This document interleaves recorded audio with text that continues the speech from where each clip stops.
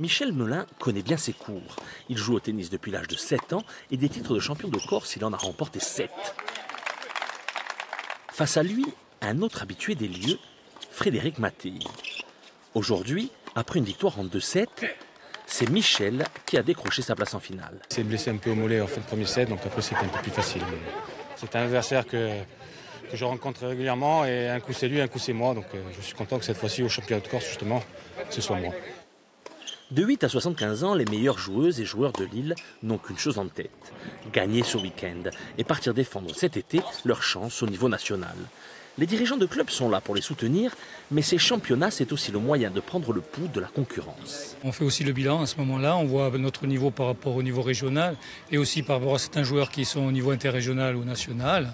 Et ça nous permet effectivement, après l'entraînement, de, réinvestir ce qu'on a appris euh, dans le travail. Les championnats de Corse dans la pinette de Calvi, c'est aussi une belle vitrine pour le tennis insulaire. Lille compte 35 clubs et l'année dernière, elle affichait 3900 licenciés. Tout est fait du côté de la Ligue de tennis pour qu'elle conserve sa place de sport individuel majeur.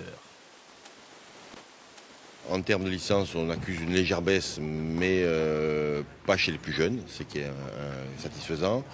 Au niveau de la compétition, euh, la compétition individuelle reste euh, toujours euh, très importante et la, locomotive pour les championnats de Corse. La compétition interclub, elle est stable. Sinon, on travaille énormément sur la détection des plus jeunes. Histoire, c'est vrai, de trouver de nouveaux licenciés, mais aussi de former ceux qui un jour tenteront de décrocher l'un des 36 titres de champion de Corse en jeu à Calvi.